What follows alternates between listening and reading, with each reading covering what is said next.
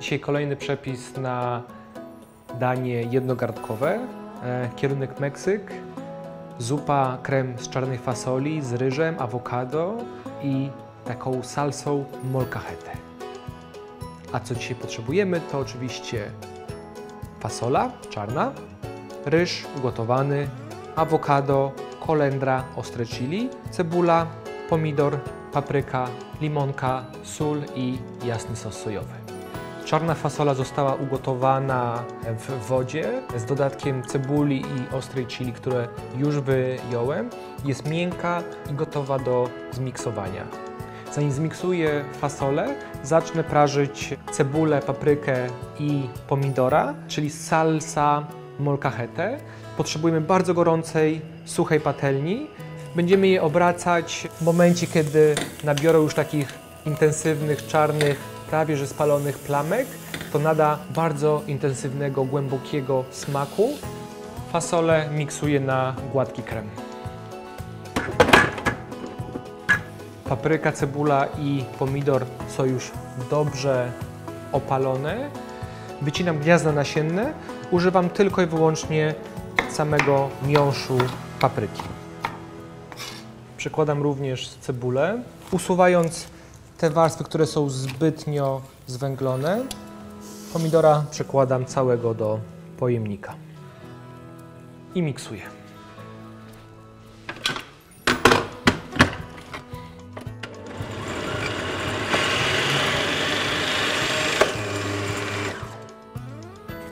Nie za mocno.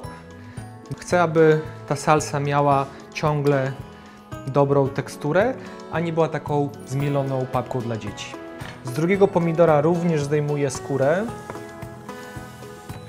Pozbywam się gniazda nasiennego. Całość delikatnie przesiekuję nożem i połączę zaraz z resztą salsy.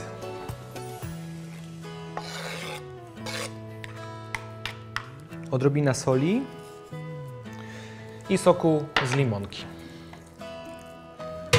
Zagrzeję zupę, która została zmiksowana.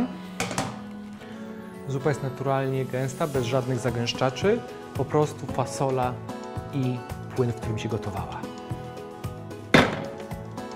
Dodaję mniej więcej 2 trzecie naszej salsy. Sos sojowy.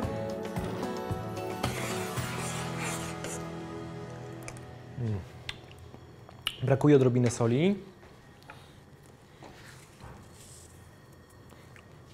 Reszta limonki. Limonka czy inna forma kwasu, np. w postaci octu, zawsze wyostrza smaki, sprawia, że one są bardziej wyraziste. Kroję chili w drobne, cienkie paski i awokado w dużą kostkę.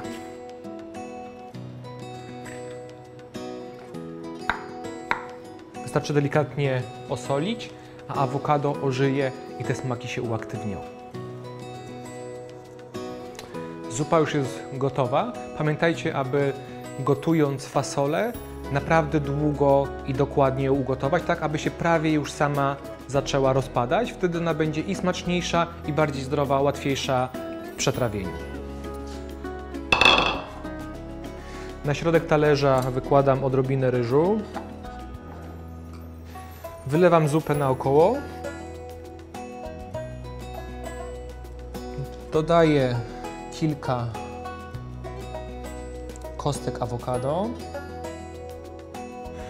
Dodaję salsy. Kilka plasterków chili. I na sam koniec kilka listków kolendry. Całość gotowa. Czas spróbować, co ugotowaliśmy. Naprawdę pyszna zupa. Od razu przypomina mi się smak Meksyku. Czarna fasola, ryż, dojrzałe awokado, kolendra, no i ta salsa, która nadaje dużo smaku. Możecie sobie robić tyle dokładek, ile chcecie. Na pewno nie będziecie głodni. Ta zupa pozostawi Wam dużo energii na długi okres czasu. Pycha.